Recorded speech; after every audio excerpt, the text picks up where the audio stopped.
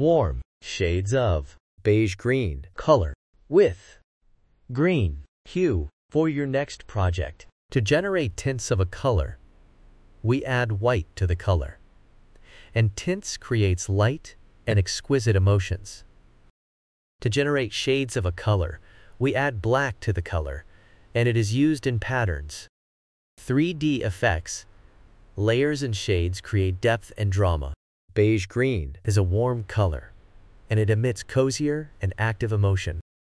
Warm colors are symbols of warmth, fire, heat, and sunshine.